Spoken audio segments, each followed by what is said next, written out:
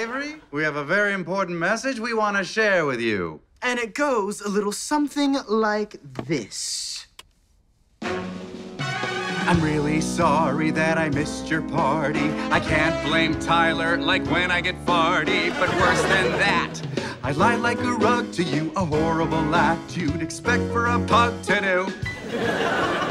As friends go, I know I'm not your bestest, but how could I not make the cut on that guest list? My party invite must have slipped your mind. I live next door, really hard to find. What we're trying to say through all of this fumbling, Freezing me out was really a dumb thing. Avery Jennings,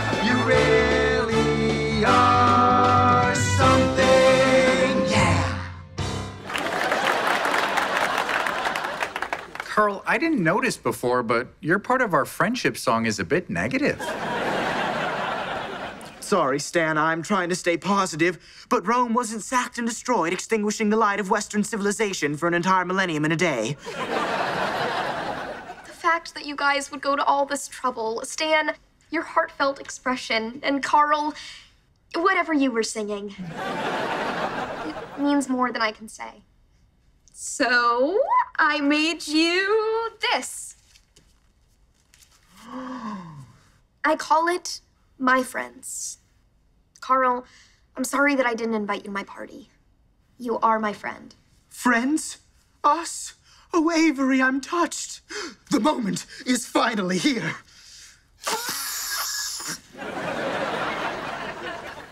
For those of you unfamiliar with the term anticlimax, And Stan, Wait a second.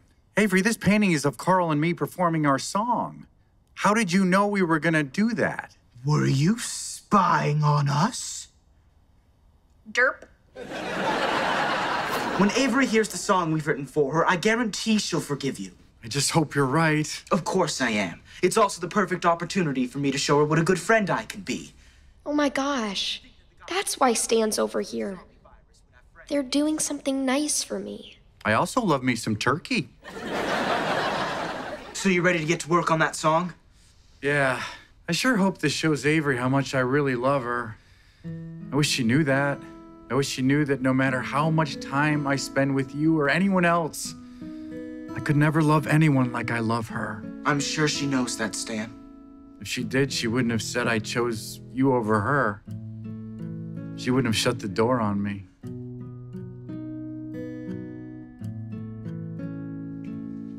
I'm so sorry, Stan, that I didn't trust how much you love me. I'm sorry I called you a bad friend. I'm sorry I lied to you about why I missed your party. Well, this is every boy's worst nightmare. His arch nemesis and her talking dog making him feel like a third wheel. Get in here, Karl. Go! Sometimes when friends have a fight, they come out of it closer than they ever were before.